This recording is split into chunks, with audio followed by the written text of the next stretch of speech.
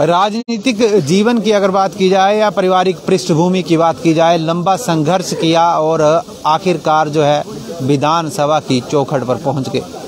नमस्कार, live Times TV देख रहे हैं आप। मैं हूँ आपके साथ मिलन सिंह। मेरे साथ मेरे सहयोगी वीडियो जर्नलिस्ट राजेश कुमार जी हैं और हम बात कर रहे हैं शाहपुर के विधायक केवल पठानिया की।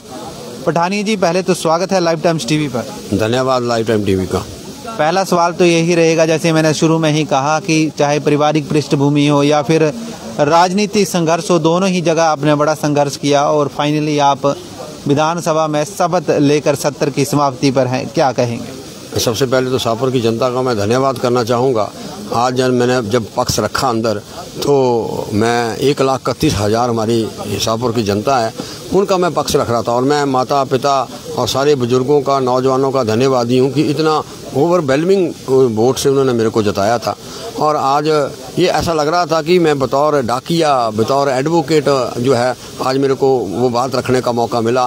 कभी लाइव टाइम टीवी वो के हादसे को मेरे को दिखाता था, कभी खड़ी भी मैं दिखाता था, कभी चंगर के मेरे सूखे को दिखाता था, रजोल में इतना बड़ा हादसा हुआ। लेकिन आज बड़ा गौरवान्वित फील हुआ कि वो सारी बातों को आज मैंने सदन के अंदर रखा और सदन के नेता ने एश्योरेंस भी दी कि उन बातों पर है जल्दी ही अधिकारी, उन्होंने कहा कि अधिकारी और मुख्यमंत्री महोदय को अवगत कराऊँगा। अधिकारी इस पर काम जो है वो करना आरंभ कर देंगे। हमारा प्रथम सत्र था। विभाग जिस तरीके से पुलिस का पेपर लीक मामला मैंने उठाया, बेरोजगारों की चिंता मैंने उठाई। बेरोजगारों पे जो खासकर प्रधानमंत्री जी आए छः छः बार प्रधानमंत्री जी आए, लेकिन सापर के ग्राउंड का पैसा डाइवर्ट होकर जो वो मंडी पहुँच गया। तो सारी बातें मैं रखी और मेरे को फ़ख्र महसूस कर रहा था और मैं सारी ज़िंदगी सापर की जनता के, मैं ऋणी रहूँगा कि जिन्होंने मेरे को इस दहलीज तक पहुँचाया है। मैं आपको बता दूँ, माननीय मुख्यमंत्री ठाकुर सुखविंदर सिंह सुक्खू जी ने ग्यारह दिसंबर को उठ ली थी। और व्यवस्था, हम सत्ता में सत्ता के लिए नहीं आए, व्यवस्था परिवर्तन करने के लिए आए हैं।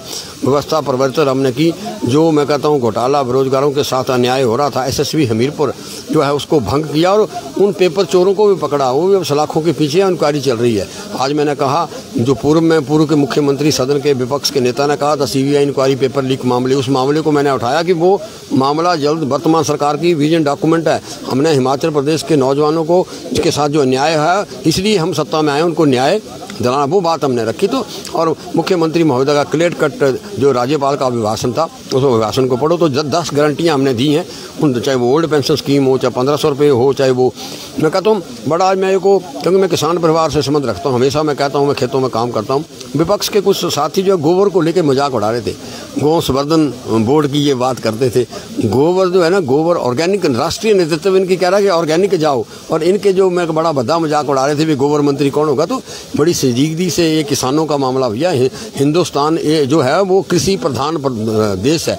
तो कृषि प्रधान और कृषि के मामले किसानों के मामले में ऐसे अशोभनीय टिप्पणी विधानसभा में शोभा नहीं देती। और लेकिन फिर भी सदन के हमारे उप मुख्यमंत्री महोदय ने ऑन बिहाफ ऑफ़ सदन के नेता जो जवाब दिया उसमें कहा, हम दस गारंटियाँ जो दी हैं, उस पर हम कमिटेड है और उन्होंने ये भी कहा, जो आपने सापर की बात रखी है, हम अधिकारी गैलरी में बैठे थे, अधिकारी उनको कहा है, इसमें वो काम करना जो है वो आरंभ कर दें। ज़ीरो टॉलरेंस ऑफ़ करप्शन मैंने शाहपुर के अंदर भी अधिकारियों के साथ मैंने बातचीत की थी, तब भी मैंने कहा था और वर्तमान सरकार की भी जो वचनबद्धता मुख्यमंत्री की कि करप्शन बहुत अच्छी श्रेणी में करप्शन किसी भी प्रकार की जो है वो सहन नहीं की जाएगी, ये प्रथम सत्र में जो है तय हुआ है। पठानी जी, विपक्ष लगातार कह रहा है कि ना तो कैबिनेट का विस्तार हो रहा और जो गारंटियों के वादे किए थे कि हम 10 दिन के भीतर देंगे ओपीएस, ना उस तरफ़ ध्यान है।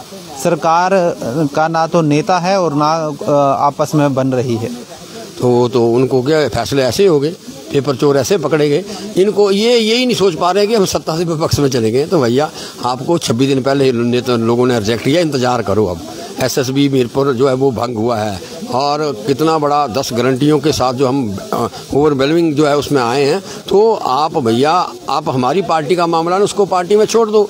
आप अपना, अपनी चिंता करो, अपनी चिंता करो भाई, आप ये क्यों नहीं कह रहे, आत्मचिंतन कर रहे थे, हम तो कहते हैं रिवाज बदलेंगे, पचहत्तर लाभार्थी रैलियाँ की चालीस पचास करोड़ रुपए का उन्होंने नुकसान किया तो उस पर क्यों नहीं चिंतन करना चाहते हैं कि ये कोई कमेटी बनाए, कि आपको क्यों लोगों ने रिजेक्ट किया, आपकी जो डबल इंजन की सरकार की, उसको क्यों नहीं रिजेक्ट किया? तो इनको वो बात करनी चाहिए, अब वो उसमें है।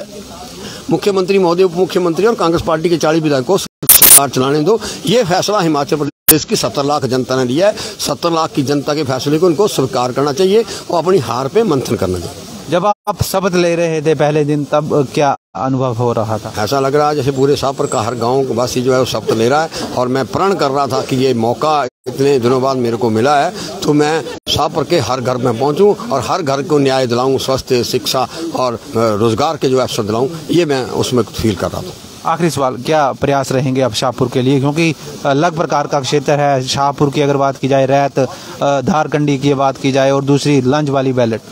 तीनों जो क्योंकि अलग अलग प्रकार की मैंने विजन के साथ जो है चुनाव लड़ा है तो जो जो बातें वहाँ के इलाके के लोगों से की हैं उसको मैं पूरा करूँगा और शाहपुर को आदर्श विधानसभा क्षेत्र जो है बनाऊँगा। शुक्रिया पठानिया जी बात थैंक यू लाइव टाइम तो आप देख सकते हैं केवल सिंह पठानिया है शाहपुर के विधायक बन चुके हैं शपथ ले ली है शीतकालीन सत्र में तीन दिन शिरकत की है और कहीं ना कहीं कह रहे हैं कि जब मैं शपथ ले रहा था तब मुझे ऐसा लग रहा था कि शाहपुर का हर बच्चा बूढ़ा हर वर्ग का आदमी मेरे साथ शपथ ले रहा है।